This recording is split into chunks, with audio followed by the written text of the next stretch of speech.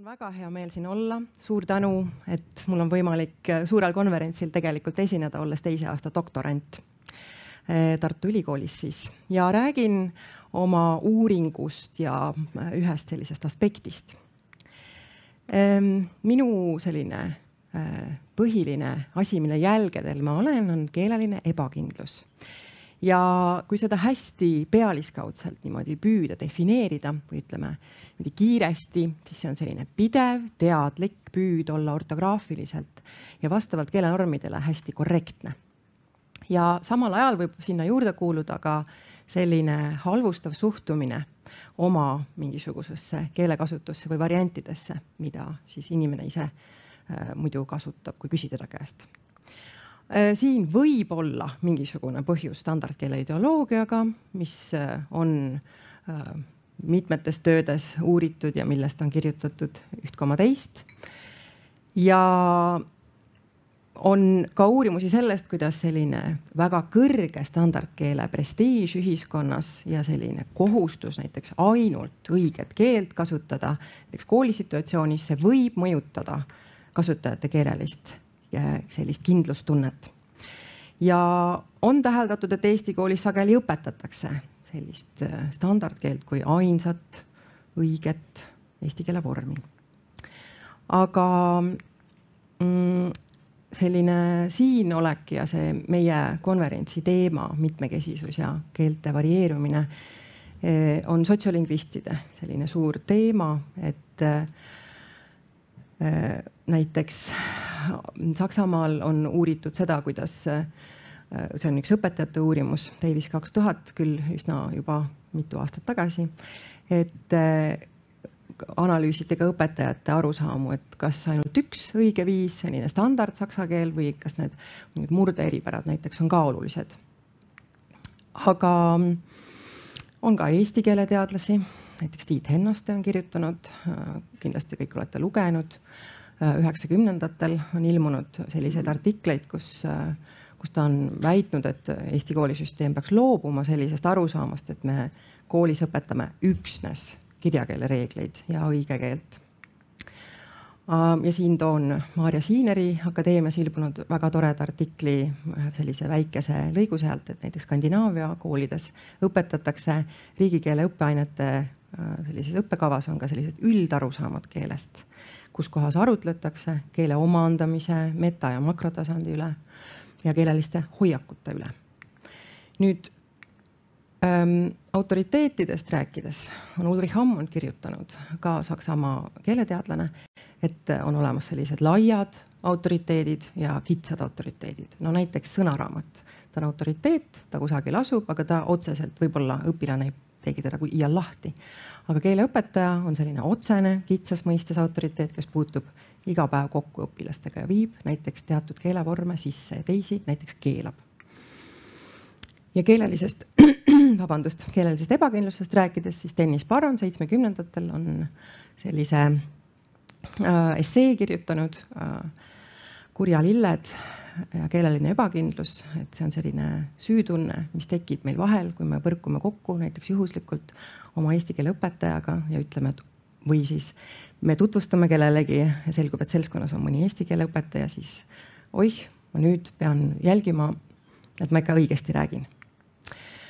aga ka täna ma ei seisa üksi, vaid minu selja taga võite ette kujutada kahtekümmend nelja eesti keele õpetajat eri Eesti piirkondadest pean võtma ühe lonksu vett, et kahjuks äh, Ida-Virumaalt äh,, Ida-Virumaalt ei õnnestunud äh, kätte saada kedagi. vabandust. aga küll aga oli kirjavahetus ühe õpetajaga ja otsustasime siis, et ikkagi ei tee intervjuud, aga Raplamaalt kirjutasin korduvalt, kas ikka kõlab, eks ju, jah.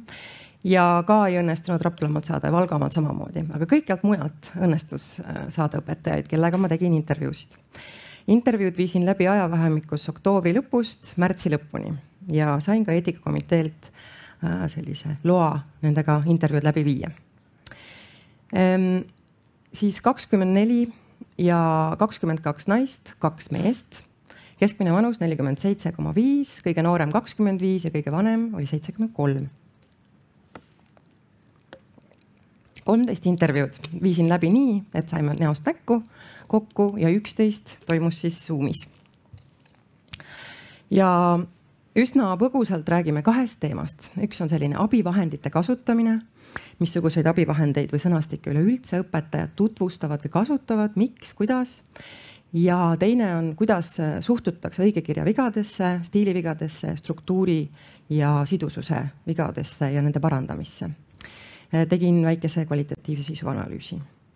nüüd õigekeelse sõnaraamat oli kohe nagu sageduselt kõige esimene ja sõnaveeb järgnes talle visalt ja sünonüümi sõnastik, võõrsõnade leksikon ka ja teised sellised nende enda ütluste järgi kirja pandud asjad on siin ka kolmteist tükki ja guugeldamist on nähtud nii hea kui halvana, sest et guugeldades sa võid leida EKI lehekülje, kus sa saad õige vastuse või halvana, sest sa leiad kellegi blogi ja leiad sealt halva vastuse ükskord mainiti järgnevaid asju, Riigi Teatajate keeleseadust ja enekesi ja, ja üks huvitav asi oli Google Translate'i hääldus, et õpetaja, eesti keele õpetaja pidas oluliseks õpetada lastele, kuidas näiteks teisi keeli hääldada, et sealt saab abi.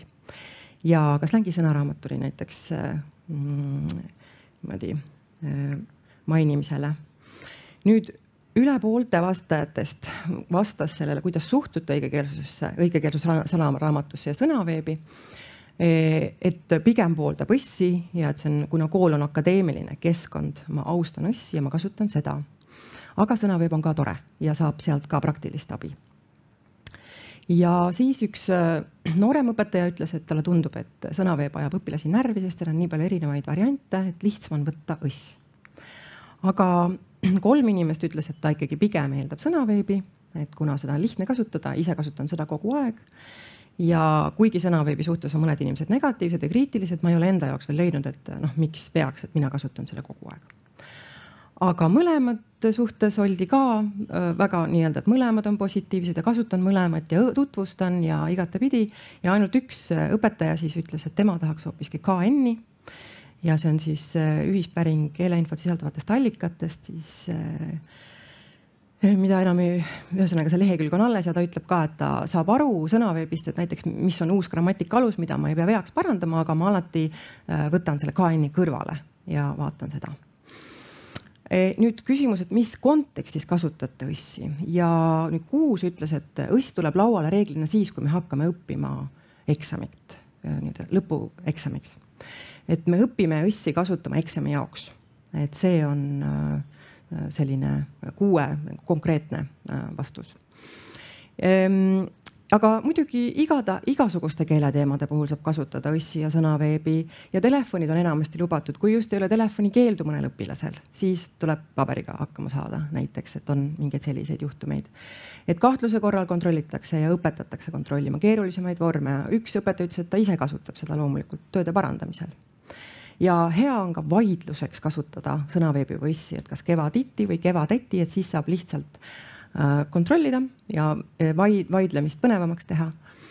ja üks õpetaja ka tundis kahjumeelt, et tegelikult on nii palju huvitavat, mida saab sõnaraamatutega teha, aga lihtsalt ei mahu õppekappa nüüd õigekeelsusvigadesse liigume siit kohe või õigekeelsusvigadesse suhtumise, et äh, tegelikult kakskümmend õpetajat kahekümne neljast ütles, et see on väga oluline või väga-väga oluline ja mõt-, mõtlemata äh, tuli see vastus hästi-hästi kiiresti. ja äh, paaril korral oli ka sellist kahtlust, et õpimotivatsioon võib olla õigekeelsusvigadega, et kohe ei paranda võib-olla kõik ära või loomerõõmu pärssimine ja äh, siis üks õpetaja ka ütles, et tegelikult tema teab aastaid, et ta parandab kõik ära, aga tegelikult teeb seda endale, et tegelikult õpilasi ei huvita vigade parandamist, nad ei vaata. ja siis tuli ka selline teema mitmelt õpetajatelt, et eesti keele sellise õige keele parandamist peaksid tegema ka teised õpetajad, sellepärast et see ei saa nii olla, et õige keel on ainult eesti keele tunnis, et lähed siit uksest välja ajalootundi ja siis seal on ükskõik. et seda teemat tuli ka mitmelt õpetajalt aga jah, üldiselt oli selline, et äh, lasen kirjaliku töö teha, siis ma ikkagi parandan kõik vead ära, et see lause kõik vead ära, et seda tuli väga-väga äh, palju. Või noh, nii-öelda äh, tõesti üle kahekümne, aga siis ka selline, et üsna haruldane vastus, aga minu arust hästi ära põhjendanud, et kui oled oma hinge paberi peale välja valanud, kirjutanud kauni luuletuse kodumaast, no mis ma siis teen, võtan hinde alla, et sa paned koma vale koha peale või ei pannud üldse koma või kirjutasid kodumaa tugeva tõhiga.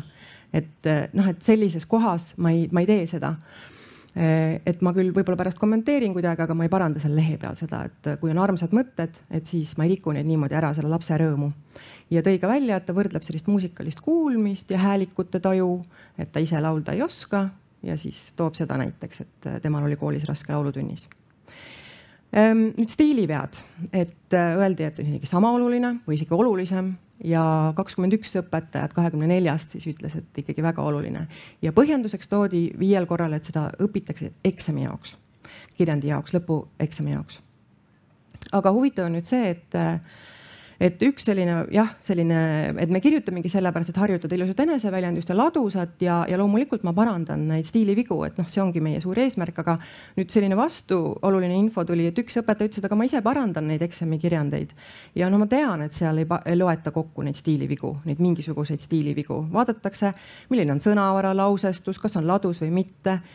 ja siis tuli veel selline äh, noh, nii-öelda, üks ütles, et äh, ma pean hakkama neid äh, eksameid varsti parandama, teine ütles, et noh, et aga neid ju ei hinnatagi, et noh, minu jaoks ei ole oluline, nii et selline võib-olla info nagu liikumatus kuidagi või ja kolmas asi, selline struktuur ja sidusus ja see on nüüd huvitav, et tõesti kõik ütlesid, et see on väga oluline. kakskümmend neli ütlesid, võib-olla see on olulisemgi kui õigekeelsus või õige kirjavigade parandamine. et struktuur ja sidusus, see on ratsionaalne, see on põhiline.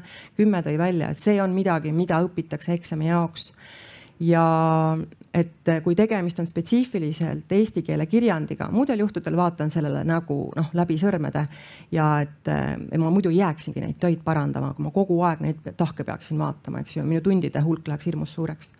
aga üks huvitav asi, mida ma tõesti tahan siin välja tuua, on see, et eeltöö tegemise, toimetamise, õppimise olulist tõid välja siis kaks õpetajat ja üks ütles tõesti, et mingit probleemi ei ole struktuuri sidususega, kui teha mõttekaarte, kui järjestada oma mõtteid, kui teha selline hea eeltöö, et siis meil ei ole nagu selliseid probleeme, et ma palju näen vaeva, et õpetada neid eeltööd tegema.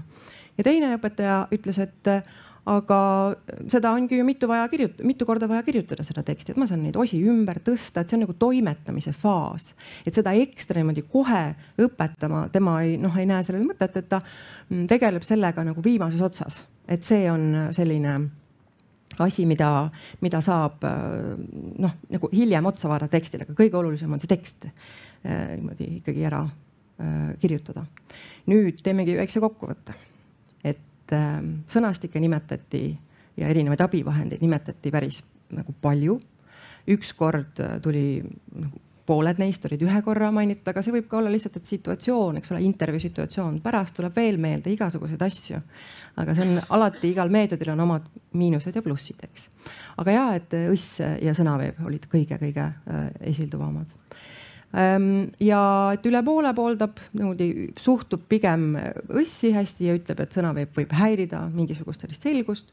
et paljud ütlesid, et mõlemat kasutavad ja just see lause jäi mulle nagu kõrva, et mõlemasse suhtun positiivselt ja mõlemad aitavad ja et ei olnud sellist suurt äh, vahetegu tegemist ka ja mm, kui kontekstidest rääkida, siis kirjanduse tundides ja keeletundides nagu mõlemas saab neid kasutada, erinevaid abisid sealt kätte otsida, igasuguseid keerukaid sõnu ja loomulikult sõnaveebi tabel, muuta seal pööramise, käänamistab, seda toodi palju esile ja e, aga ikkagi kerkis esile ka, et eksamiks valmistudes, eks kasutatakse.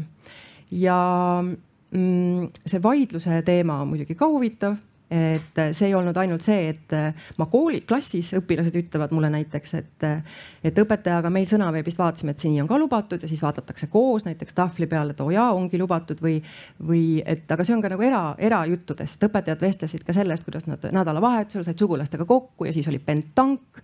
Aga mina mõtlesin pentang ja siis ma ütlesin, kuulge, te olete kõik rumalad, et see on pentank ja siis otsiti välja, et ikkagi võib olla nii ja naa, et noh, et, et see nii-öelda selline, et keeleteemade üle arutatakse nii kirglikult, et sul on kuidagi see noh, et see ei ole ainult niimoodi õpetaja klassis autoriteedi küsimus näiteks, et ma pean ise kuidagi ütlema, et noh, see variant või see variant, et aga et see läheb edasi nagu eraellu igale poole ja vigadesse suhtumine, et hästi oluliseks peetakse kõikide vigade Äh, sellist parandamist. Ja selline lause ka, et noh, kõik vead parandan ära, isegi kui ma ei hinda ja paranda ka kirjandites ära kõik vead. no ma ütlen, et ma tegelikult ei hinda, aga nagu mul on see harjumus, et ma ei saa nagu pidama ennast. et ma nagu mõtlen küll, et äkki see pärsib seda õpimotivatsiooni ja nii, aga, aga nagu ma olen nii harjunud, noh, et, et mis ma siis nagu teen, et see on minu selline osa minust ja jah, ja aga üks õpetaja siis nentis, ütles, et aga noh, et ma tean, et ma teen seda endale stiilivigadest tõesti huvitav, eks, et äh, nii stiili kui siis sidusus nagu seda peetakse olulisemaks või et isegi, et äh, see struktuur on nagu kõige olulisem, et saaks sellise teksti hästi ja siis edasi. ja, ja huvitav on ju ka see veel, eks, et, et stiilivigu ei loeta, noh, et mind huvitab rohkem see, mida arvatakse, eks. üks ütleb, et neid ei loetagi, teine ütleb, et aga me sellepärast õpime, et neid loetakse eksamil, noh, et selline teadmatus on ka huvitav minu jaoks. ja ja, ja minu jaoks jällegi uurijana väga huvitav, et toodi välja, et äh, eeltöö tegemine, et me ju teeme seda eeltööd, et milleks me siis seda struktuuri nagu noh, me ju teeme neid mõttekaarte ja ma olen nii suure kogemusega, et kuidas seda kõike teha, et me ei hakka seda teksti ajal siis tegema, et meil on, meil on omad meetodid selleks, et ennetada mingisuguseid selliseid struktuuri ja sidususe probleeme. ja minul näitab siin üks, kaks, kolm ekraani peal, siin on kirjandus ma ei tea, ma tegin selle järgi, vabandust. ühesõnaga, aga me saame mõtteid vahetada ja kui praegu ei taha mõtteid vahetada, võite kirjutada mulle ja kohvilaua taga täpselt samamoodi äh, vestelda, aga võib ka kohe asuda vestlema mm.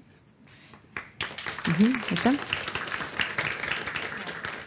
aitäh, Kristel ja siit on huvitav vaadata, et sinul jookseb seal üks aeg ja, ja, ja kella järgi jookseb teine aeg aga, aga seda rohkem ongi meil praegu aega küsimusteks ja olge head.